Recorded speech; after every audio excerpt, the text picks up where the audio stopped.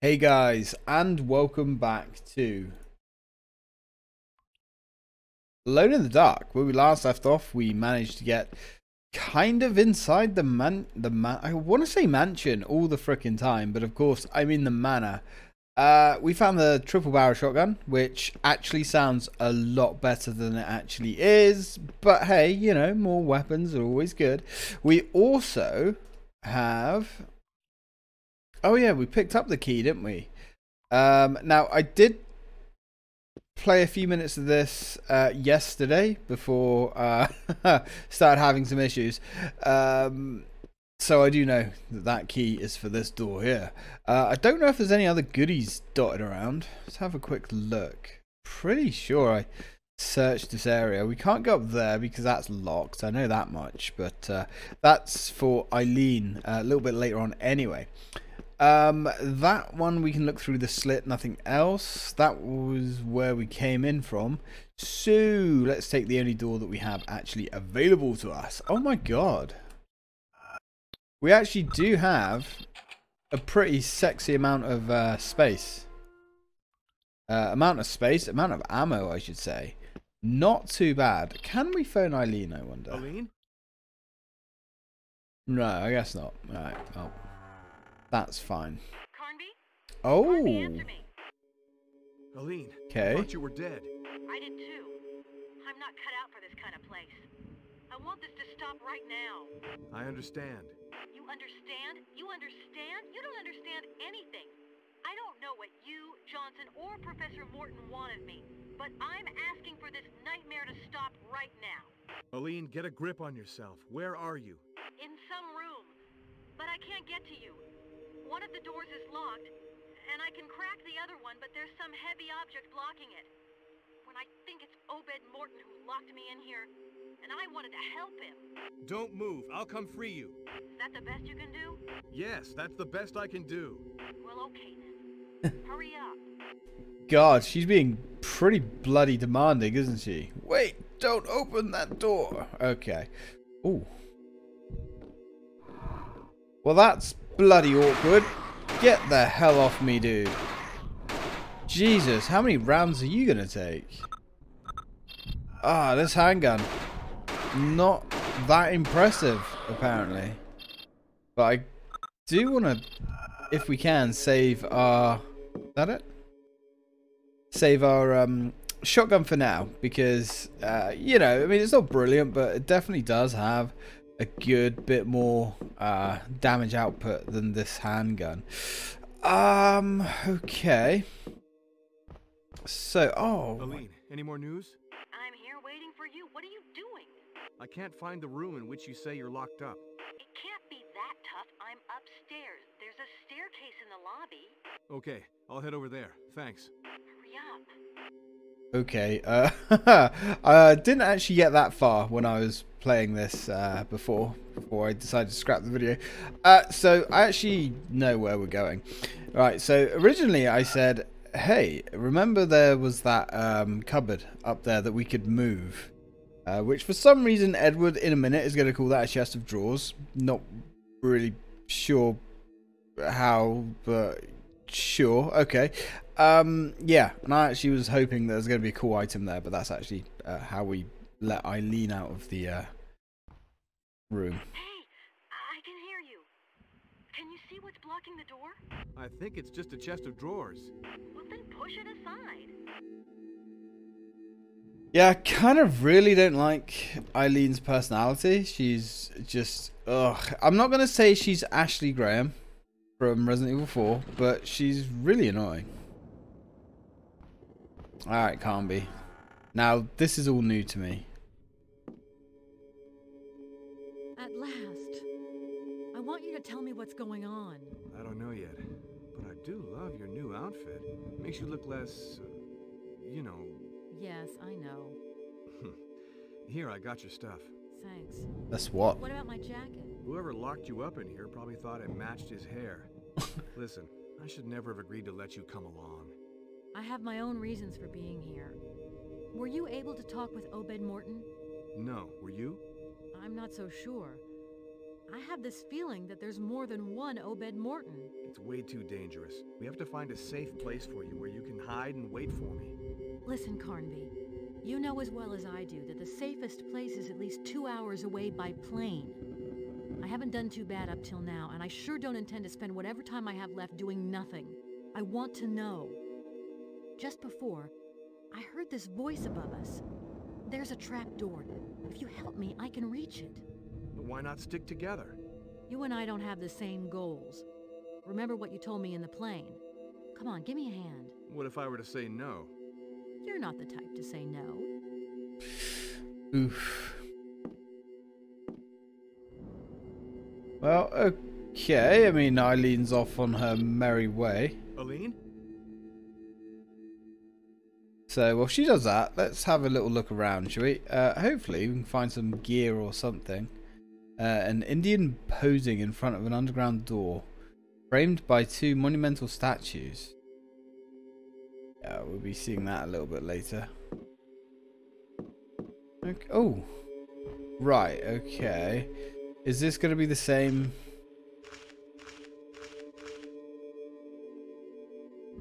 Yeah.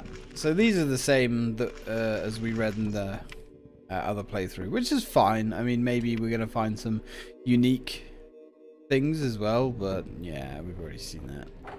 So we can actually go through here. Interesting. Okay. And there's no monsters down here, at least not yet. Now, I know Eileen probably wants us to go uh, upstairs with her. But let's uh, continue our own investigation. Have a little look and see what we can find. Yes, we can't go through there. Oh, we can look through the spy hole. Alright, well, I mean... Oh, hello. I guess it kind of was worth coming down here then. Yeah, okay, so not really anything worth going down there for then. Alright, well, let's go back upstairs. Are we going to get the two Gribblies chasing us? Uh, doesn't like it. Or did they spawn in around here? Ah, okay, we're not going to get them. That's fine. So, what's through this door? Door is sealed up. Okay, fine. So, back the way we came. And I'm okay with that because we have so many bloody options of where to go now. Uh, let's check out the ground floor first. That seems to be the thing. See, this, like, it's so obvious that this has been pushed or moved or something. Oh, we can! Okay. So we can only push it either there or back there. We okay. Really? What's the point?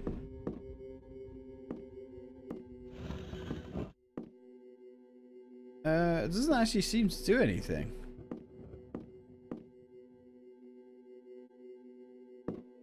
Uh, because there's nothing down there. I mean, oh, another save medallion. Truth be told, I thought that we'd be able to push it here somewhere, but uh, I guess not. All right, well we won't bother with that for now then. Right, now there was another door here somewhere, wasn't there? Uh, oh, okay. Well, you know, maybe that wasn't a door. Right, can we go through here? The door is locked, so maybe we can go through there, just not yet. Righty tighty. We can go through this one, though. Or, you know, maybe not, guess. What about this one? Hey, we can go through this one. Ooh. Hello. I know who you are and what you have come looking for. I was expecting you. Just stay where you are. Don't move an inch. Who are you? They call me Edenshaw. I am the guardian of this island. A guardian? Guardian of what? And what are all these monsters? What the heck's going on here? Professor Morton has definitely crossed the threshold. Look, can't you spell it out? What is this mess? My weakness is to blame. I let children play with powers way beyond their grasp. But the legends were not wrong. You have come to us. My only hope is that it is not too late. This is all Greek to me. It will become clear soon enough. Go to the library. The books withhold many a secret. Also, take this charm. It will prevent you from falling into oblivion with all the others. Go, fulfill your destiny. Save us. Wait, wait. I didn't come here to fool around. I came to investigate Fiske's death. I do not know who you are talking about. Charles Fiske. 50-ish, about 6'1", graying hair. I still do not know who that is.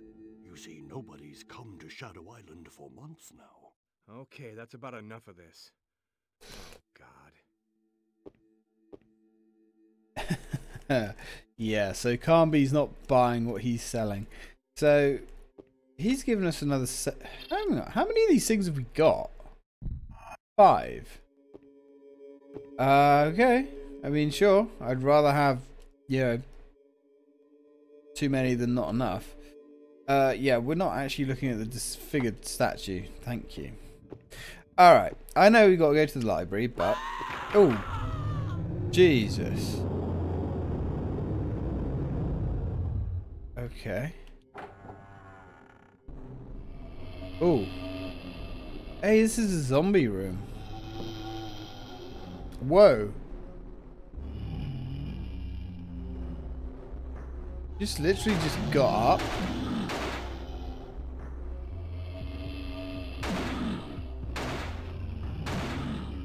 Wow. Okay. You'll be forgiven for thinking these things are not killable.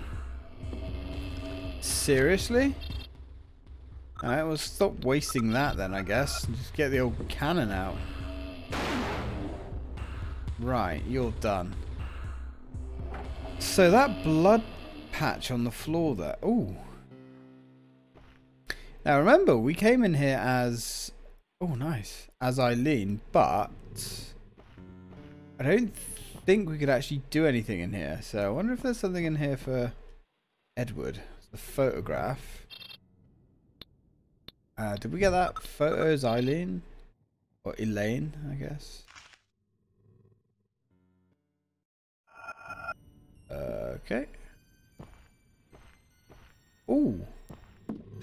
Oh, you little bastard. The hell is that? Ooh. Ribley. A wolf mask. Okay. I guess that's some kind of puzzle that we're going to have coming up. Got ya. Oh, bastard. The weird baby crab head things. Trying to give you the willies. Okay. Just, oh, right, okay. Some kind of balance. So... We need to balance it out. We can't use that here. Let's have a look at this thing. Uh, a wooden wolf's head mask. Alright. So...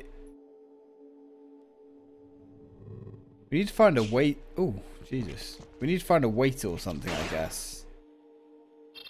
Which may or may not be... Um, at the library. Oh, piss off. Ah, there wasn't anything up this way, was there? Oh, I mean, there's a health pack. First aid kit, cool. I guess there wasn't actually anything here for Eileen, but, uh... Oh, nice. Whilst you're, like, jibbing out, we can give you the old slip. So, we know we need to go to the HM room for a weight. Oh, a weight or something. What's this? More shells. Bloody hell. Giving them out like sweets or something. Actually. Right, let's reload that bad boy. But then, saying that, uh, when we was playing with uh, Eileen, we actually got quite a lot of ammo for her at points. Right, that's going to lead... Oh, that leads upstairs, doesn't it? Memory serves. wonder if there's anything worth plundering up here. Nothing lighting up.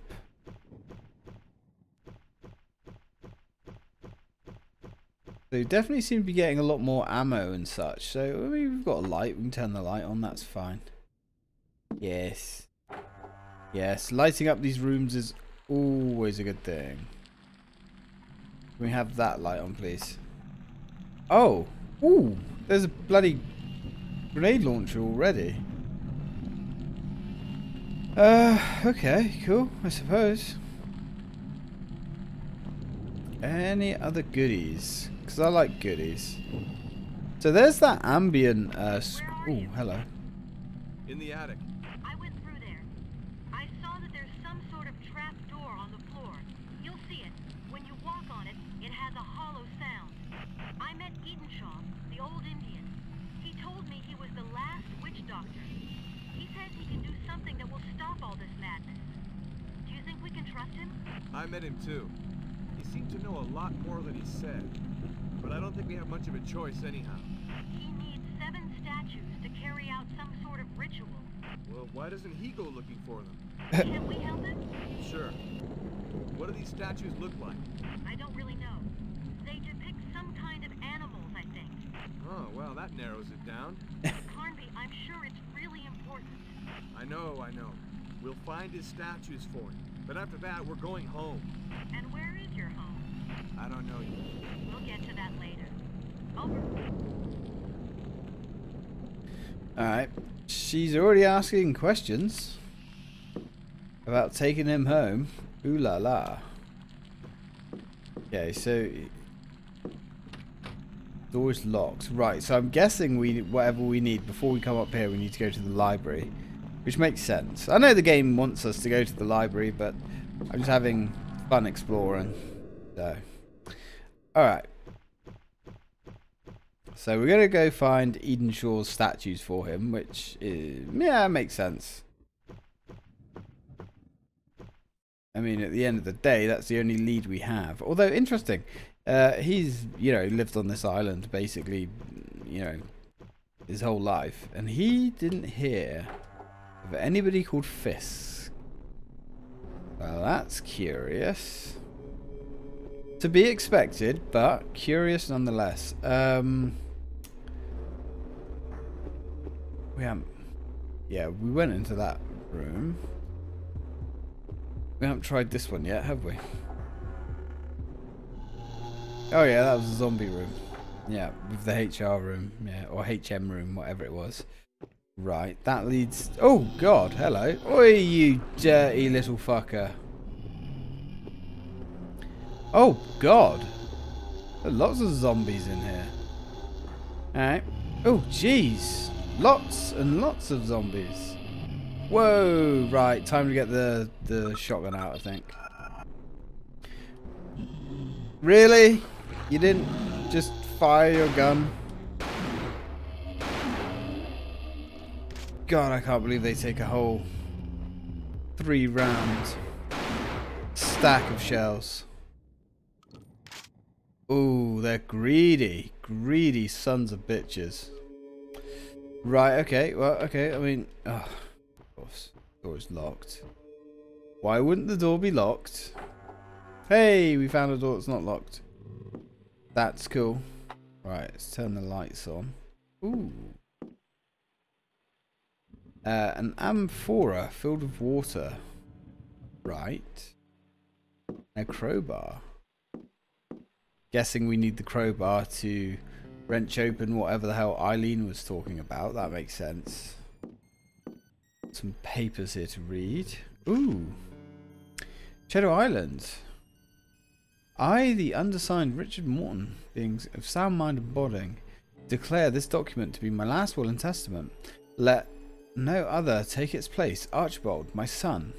The mission I undertook many long years ago is still vast and incomplete. I expect you and your descendants to strive without respite for its completion.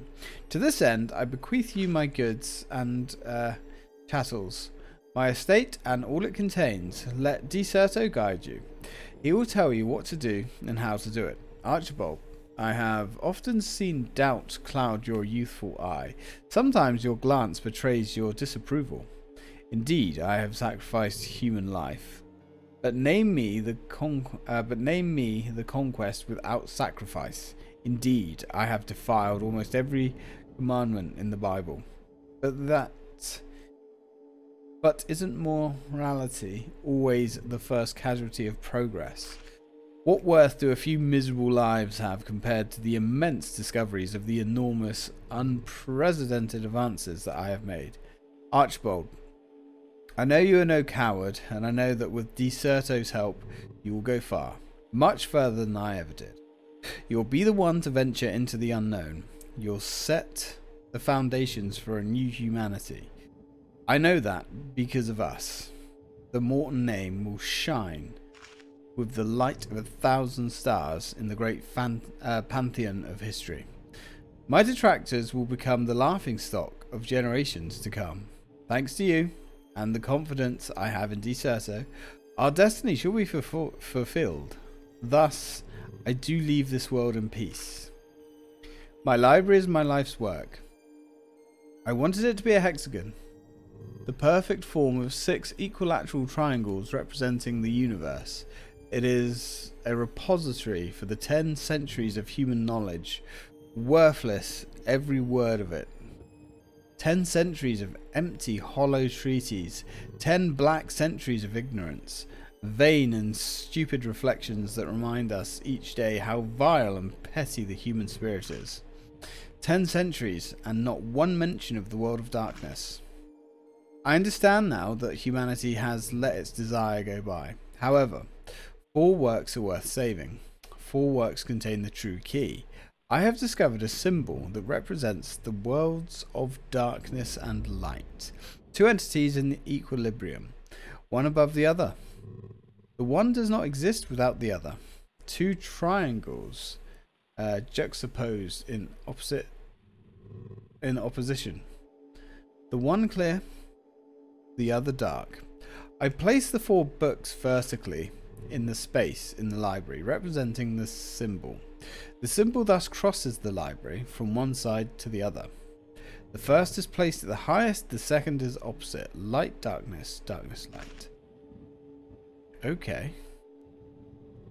So we need that to sort out the library puzzle. I'm guessing there's a library puzzle. Uh, that makes sense. Anyway, guys, uh, one second.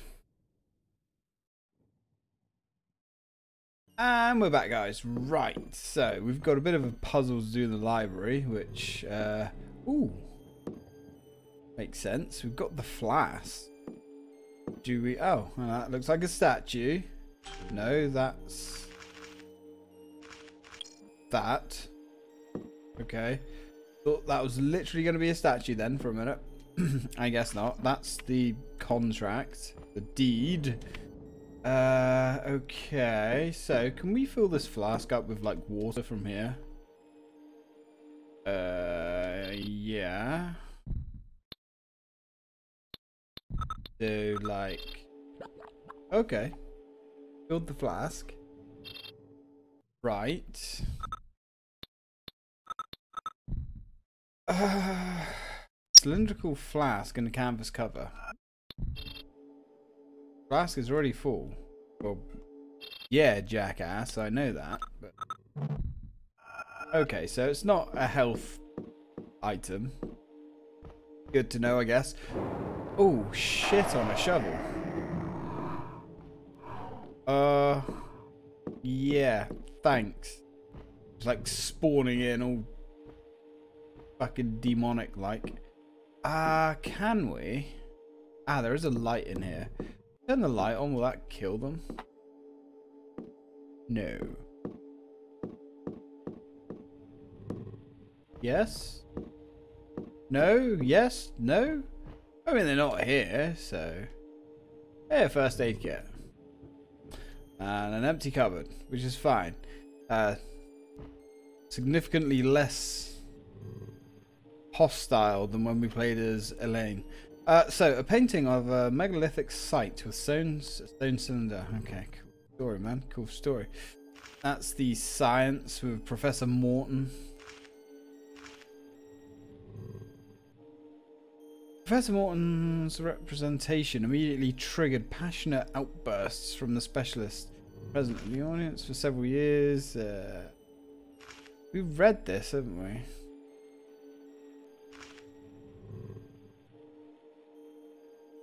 Uh, yeah, yeah, we read that one. A highly complex writing system.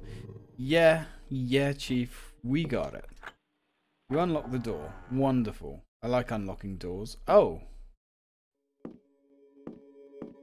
Okay then. That just leads us straight back into the main hall, which is fine, but hoping for another room to exp- Ooh explore. Ah. Uh, Kansas American Indians, a link between. This book is the result of research that I embarked upon more than 20 years ago. I'm aware that the theories, ideas, and truths uh, expounded herein have already um, uh, engaged great hostility, not only from my colleagues, but also from anthro. anthro anthropological and uh, dyslexia is really just cock blocking me to those words right now. You know, it's so funny because I, if I come back in five minutes, I'll be able to read them like that. Oh, damn it. Anyway, so yeah, so scientists from these uh, disciplines, should we say, who are more uh, distantly related to my field, I know that history will prove me right. It is this conviction that drives me onwards on this narrow, treacherous path that I have chosen to take. My passion for Abkanis culture, language, and civilization started at a very young age. I owe this passion to two men. Firstly, my grandfather, Jeremy Morton, who was a physician, mathematician, mathematician astronomer, philosopher, and magician. Jesus Christ. He had a rap sheet as well as a misunderstood genius. By the will of God, may mankind one day pay him the homage that is that is his due. Secondly, Joseph Edenshaw, who entered my grandfather's service in 1920. Yeah, hang on, we have read this, haven't we?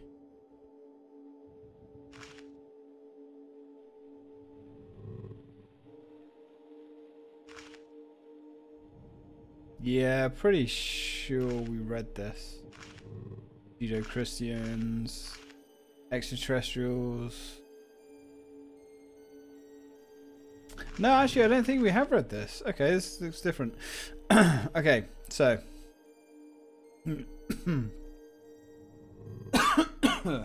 I am deeply grateful to them both. Okay. May the god bathe them both with his sweet eternal light. My detractors have often uh, reproached me for elaborating the theories from which my convictions sprang on the basis of limited, fragmentary, and unreliable sources. oh god. Okay. Uh, if it is, uh, it is true to say that up until now, the material that I have provided to feed my critics' curiosity is scant. Three engraved stones and several do dozen photos of inscriptions taken from the walls of grottos found in an island off the coast of Boston. Uh, Champollion, wherever persuaded the world of his convictions with only the Rosetta Stone on the basis of my evidence. I can confirm that the highly evolved form of uh, Abkanis civilization with a complex writing system appeared in the northeast of what is now the United States 1500 years ago. This civilization has a rich history that is more intensive than even our Judeo Christian civilization. Unlike other human civilizations, it never sought to extend its territories, to conquer others, or migrate. It should not be forgotten that, in this respect, that the word Abkanis itself means guardian in their language.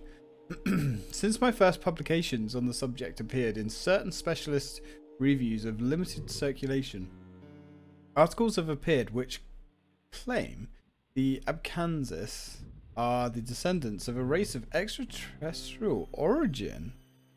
Hmm. This uh, discredited my research greatly, and I feel compelled to say that such rantings are completely unfounded. Uh, the Abkanis are anything but extraterrestrials. Uh, Abkanis society was not organized around the family unit, but on a community structure. From the age of 12, Abkanis men and women both embark without sexual discrimination on the same initiation uh, rituals which last 12 long years. At the end of their initiation, they are accorded the status of guardian. It is at this point that different religious or different religious, military, and household functions are attributed.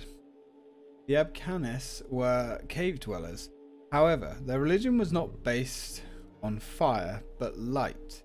They developed an elaborate pantheon of divinities, which became their cornerstones of their daily life. the magic of light. Ancient uh, Abkanis religion worship was expressed through a set of different magical rituals which light was central. it also appears that their designated enemies were forms of demons from hell that they called uh, Darkatar, Annie, or creatures of darkness. It is probable that this marvelous um, uh, writing system, the deciphering of which I am still gripping or grappling with today, was perfected to determine specific roles for each ritual. Many questions remain unanswered, in particular how their writing operated. For most known civilizations, writing was first invented for commercial exchange, for listing possessions, or for establishing contact or contracts. The Abkanis, one single uh, re, uh, preoccupation, however, seems to have been their role as guardian. Guardian of what, though? And against whom? These are both questions to which I think I will never find satisfactory answer. Oh god. Right, dyslexia always strikes at the worst time. It's such a strange thing, you know. You can you can literally see the word, but you can't see it if that makes sense. it's ugh it's frustrating. And it's never really got any better. Uh, so that leads back. We can actually go this way. Which I'm not sure if I ever knew about this. In my playthrough. Uh, previously. Oh yeah, forgot. We've got zombies everywhere, haven't we? Really? Why is there a delay between when you push the fire button yeah, almost a second of delay there. That's frustrating, to say the least. Okay, so what about this room? Door is locked. and we got more zombies this way. You know? I don't like these zombies. The shotgun doesn't seem to have any kind of like fall off either on its range. Which is really nice.